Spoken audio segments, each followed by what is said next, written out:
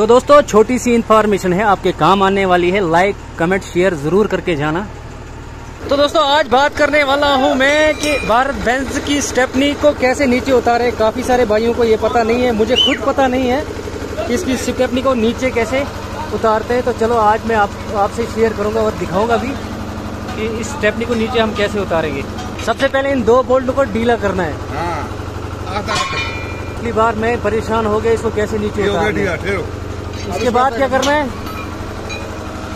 इसके बाद यहाँ से इस लॉक को खोलना है।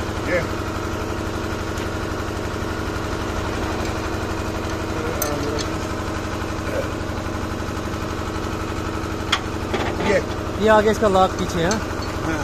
देखना ये बंदे को पता नहीं होता, इसमें खतरा भी होता है। एक साइड उतर गई, एक साइड फंस गई है अभी। सबसे पहले आपको क्या करना है, एक तो ये वाला बोल्ट आपको थोड़ा सा लूज करना है। उसके बाद आपको ये वाला बोल्ट थोड़ा ढीला करना है। उसके बाद आप इसमें व्हील पाना लगा के तब स्टेपनी को ऐसे डाउन कर सकते हैं। जब थोड़ा सा डाउन करके इस साइड फिर इसको राइट करेंगे। राइट लेफ़्ट राइट लेफ़्ट करना है। तभी आपकी स्टेपनी नीचे आ पाएगी। अभी मैं आपसे ये दिखाता हूँ।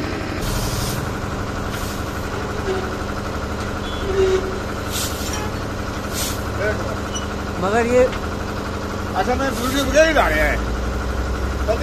टाटा से मुश्किल काम है ये। टाटा का जो स्टेप स्टेपनी उतारनी है वो आसान है। लेकिन इसका मुश्किल है भाई।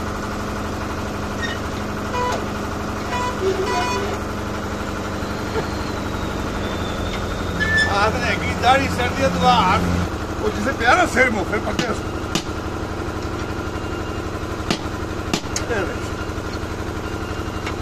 ये खास ही इतना सके इतना ड्रामा नहीं खाली ये सिक्के सकड़े हर टर्न पे इसको लॉक ऑन करना है मतलब ऑटोमेटिक लॉक इसका फंस जाता है तो हर टर्न पे लॉक ऑन करना है उसके बाद स्टेपिंग नीचे आएगी।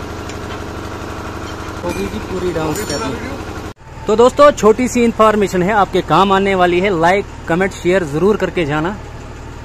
तो ये रही दोस्तों भारत बेंज गाड़ी जिसकी स्टेपनी का मैंने आपको दिखाया कि कैसे डाउन करनी और कैसे चढ़ानी है वापस। तो काफ़ी सारे भाइयों को ये पता नहीं था। तो मुझे खुद भी नहीं पता था, इससे पहले मैंने नहीं चलाई है ये, और मुझे ये भी मालूम नहीं था कैसे स्टेप इसकी डाउन करनी है, कैसे वापस चढ़ानी है।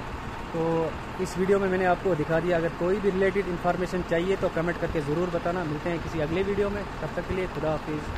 तो अगली बार दोस्तों, इस गाड़ी का रिव्यू मैं आपको पूरा दूँगा। तो ये है जी मुश्ताक भाई की गाड़ी भारत बैंस